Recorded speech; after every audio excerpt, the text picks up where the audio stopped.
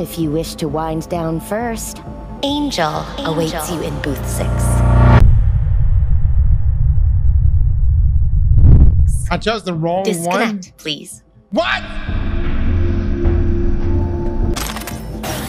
Who the fuck? Are you sure Angel is a girl's name? Real deviant. Vincent, right?